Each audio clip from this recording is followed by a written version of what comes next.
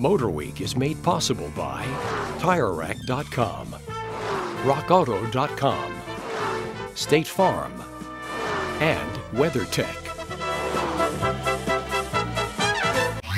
Well, the Yugo is starting out at the same place as our next road test case. You see, first, there weren't any. Then there was one. And before we knew it, they were multiplying like lemmings. What are we talking about? Why, minivans, of course. And this week we have the second U.S.-built minivan to hit the market. This is the M-Van by General Motors, otherwise known as the Chevrolet Astro and GMC Safari. Built in Baltimore, the Chevrolet Astro and GMC Safari M-Vans are rear drive. They represent GM's unique answer to the minivan marketplace.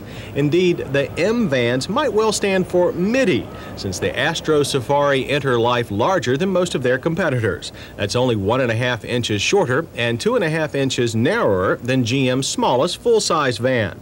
But the unusual truncated styling of the Astro Safari does cut a 7-inch lower profile, so it can also lay claim to being garageable.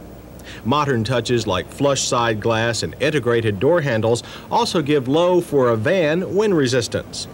Like most vans, the Astro Safari has a wide right side door. There's also this low step for easy entrance. Seating arrangements are from 4 to 8 for the passenger model. However, unlike most other downsized vans that use a rear hatch, the M van uses twin outward swinging doors. That kind of utility is enhanced by putting another step on top of the rear bumper. And the passenger model's optional back bench folds as a package shelf.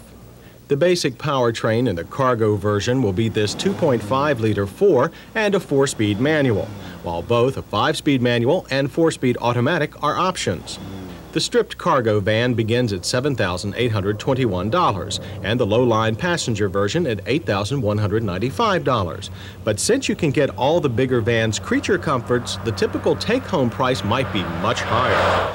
In fact, the Chevrolet Astro we drew for our closer look was a modestly appointed cargo version with optional seating for four, and it's still priced out at $12,819 but that did buy the most powerful optional engine you can get on a small van, Chevy's new 4.3-liter V6, here attached to a 4-speed overdrive automatic. Now, while dipsticks and belts were easy to reach, like older vans, most work will have to be performed inside the cab, with this engine cover removed. But this is a smooth and sturdy powertrain combination, and it gives the M-Van a maximum towing capacity of 5,000 pounds. It also gives the Astro Safari a maximum cargo carrying ability of 1,700 pounds. And since it's rear drive, the Astro Safari can handle heavy loads better than a front drive van. All of the cargo weight is over the drive wheels. As for loading, since there's no lip where the floor meets the doors, it's a low lift for anything, though the Astro Safari can't carry a 4x8 sheet of plywood unless the doors are left open. Interior seating dimensions are almost the same as GM's full-size van. These center bucket seats are bolted in, but the passenger van's optional middle and rear bench seats have latches. Those seats can be easily taken out or arranged to face each other or face the rear. While driver comfort in the Astro Safari is good, we didn't much care for the high-tech look to the analog gauges. They're hard to read. But the fingertip switches on the instrument pod are convenient.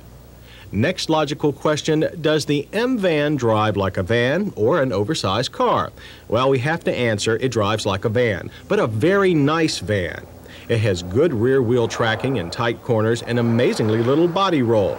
Yet the ride was anything but harsh, thanks to Corvette-like plastic leaf springs on the rear suspension. Brakes have some of the easy to lock the rear wheel tendencies of most trucks, but there was no violent swing as we might have expected. Distances unloaded were 123 feet. That's pretty impressive. As for the V6's acceleration, passing times of 4.6 seconds were a lot better than most cars. Likewise, a 0 to 60 time of 11.8 seconds. About the only V6 drawback is mileage. Despite an EPA rating of 18 city and 24 highway, the best we managed on our 100 mile loop was 15. but we still conclude that GM's M van makes a fine alternative to a full-size van.